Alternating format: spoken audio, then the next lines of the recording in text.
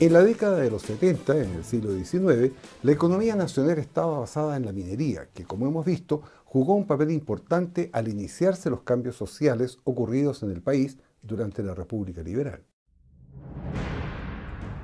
Chile vivía mirando a Europa, donde se desarrollaba con fuerza el concepto de soberanía territorial, mientras la industrialización impulsaba el colonialismo e imperialismo que se extendía a Asia, África y América.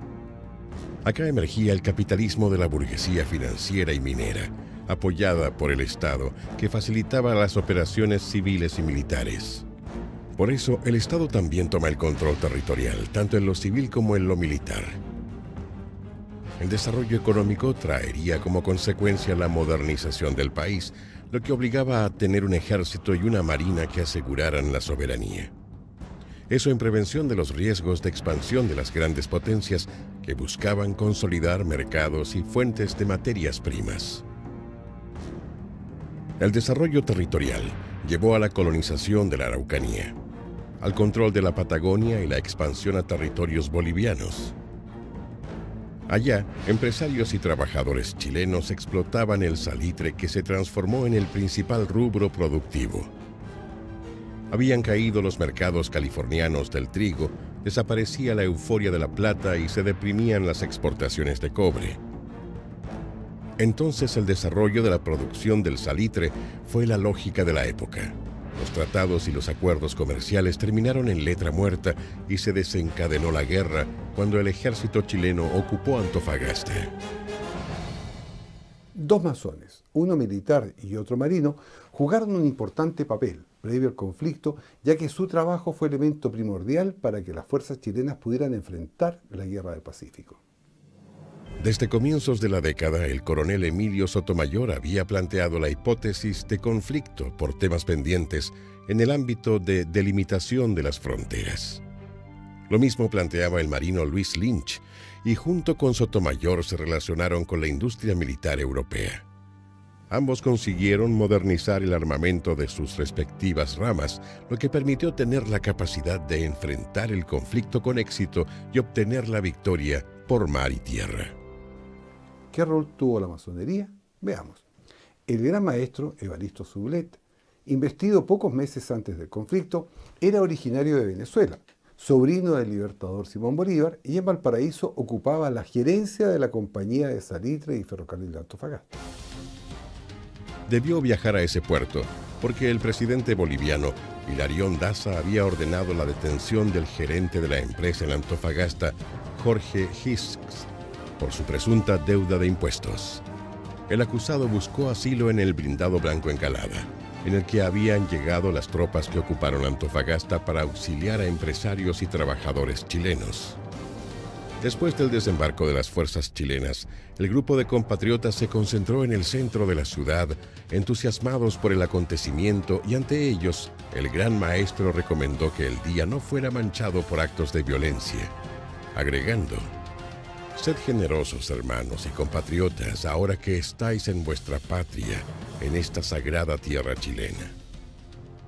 De regreso en Santiago, el gran maestro envió una circular a todas las logias pidiendo que se socorriera a los caídos en la lucha sin distinción de nacionalidad, ayudar a los huérfanos de guerra sin distinción de raza y ayudar a las familias sin distinción de origen.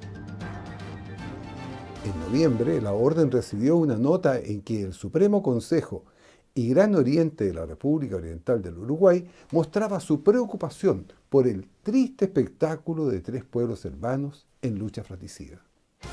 La firmaba el gran maestro Carlos de Castro y ofrecía la mediación en el conflicto diciendo que Así como del seno de la masonería salió la primera chispa que diera vida a las nacionalidades americanas, así también debe ser infatigable para buscar soluciones de paz y que ninguna cuestión de honra nacional pueda justificar los horrores de la guerra.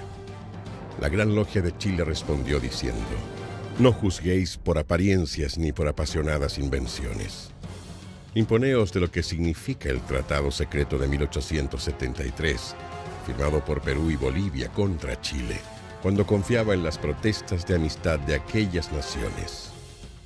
Perú y Bolivia, complotados contra Chile, lo abrazaron para herirlo mejor por la espalda con la daga de las traiciones. Y hoy recorren el mundo dando falsos lamentos y procurando engañar con el beso de Judas, estampados en la mejilla de Chile, su benefactor. El gran maestro observó que la guerra había provocado en Chile un gran sentido de nacionalidad y cohesión, con una fuerte reacción patriótica en todas las clases sociales. Entre los masones, los hermanos de las logias 10, 7 y 5, encabezados estos por su venerable maestro, el médico Ramón Allende Padín, marcharon al frente de batalla. Aquellos que por edad no fueron al frente se dedicaron al cuidado de los heridos. Allende Padín era diputado por Valparaíso y dejó su investidura parlamentaria para asumir la superintendencia del Servicio Sanitario del Ejército en campaña, partiendo a los frentes de combate. A un año de la guerra, una logia alemana que funcionaba en Lima hizo llegar a la Gran Logia de Chile una nota para que interpusiera sus buenos oficios entre los masones del ejército chileno en campaña para evitar las crueldades de la guerra. La respuesta no se hizo esperar y decía en parte, los hermanos que forman parte del ejército chileno son tan buenos masones como buenos soldados. Y, así como saben vencer en el campo de batalla, saben también ser generosos con los vencidos. El respeto al adversario fue uno de los valores que marcaron la acción de los soldados masones durante la guerra, además del patriotismo y del cumplimiento del deber. Y hay más. Durante la ocupación de Lima, oficiales masones chilenos participaron en actividades de la Orden. Allá funcionaban en forma irregular las logias Orden y Libertad 1 y 2. El coronel Samuel Valdivieso había sido iniciado en la primera, a la que se incorporaron otros compatriotas. Después el coronel Estanislao del Canto fue designado venerable maestro de la logia Orden y Libertad número 1 en elección supervisada por el soberano gran comendador Francisco Javier Mariátegui. Las tareas de los masones chilenos culminaron con la fundación de la Gran Logia del Perú en mayo de 1882. Al margen de la actividad masónica, los hermanos tuvieron una destacada participación antes, durante y después de la Guerra del Pacífico. Ya hablamos del coronel Emilio Sotomayor y del comandante Luis Lynch, hermano de Patricio, quienes tuvieron un rol importante en la modernización y organización del ejército y la armada, y el médico Ramón Allende Padín, superintendente del servicio sanitario en campaña. Otros masones también jugaron un papel fundamental. José Francisco Vergara fue ministro de Guerra en campaña y por su labor se resolvieron los enormes problemas logísticos que significaba el desplazamiento de un ejército y una marina desde la zona central del territorio chileno hasta llegar a Lima, norte y sierras del Perú. Juan José Latorre, marino que comandó la captura del Huáscar en la punta de Angamos, lo que permitió a Chile tomar el control de las operaciones por mar y transporte de tropas. El buque fue fondeado en Valparaíso y pasó a ser parte de la flota chilena. Rafael Sotomayor, también ministro de Guerra en campaña, además de ministro de Marina. Isidoro Errázuriz, secretario del ministro de Guerra en campaña los militares de carrera Pedro Lagos, quien participó en acciones en Antofagasta y exploraciones en Arica como jefe de Estado Mayor del Ejército. Tuvo dificultades con el general Erasmo Escala, católico intolerante que lo postergó. Cuando renunció a Escala, un fanático religioso, Pedro Lagos asumió como ayudante de campo del general Baquedano. Comandó el asalto y toma del Morro de Arica, luchó en Chorrillos y Miraflores y con sus tropas triunfantes entró a Lima. General Estanislao del Canto.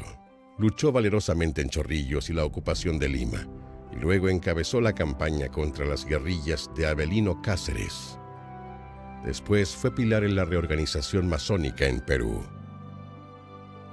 Los hermanos Diego y Baldomero Dublé Almeida el primero comandó el heroico regimiento Atacama, formado por los mineros copiapinos que lucharon en la batalla de Dolores, en Chorrillos y Miraflores. Baldomero determinó la victoria en la alianza con la ocupación de Tacna, pero murió víctima de una bala loca en una reyerta de soldados después de la toma de Arica. José Velázquez Borges, organizador de la artillería, participó en la acción que culminó con la rendición de Arequipa.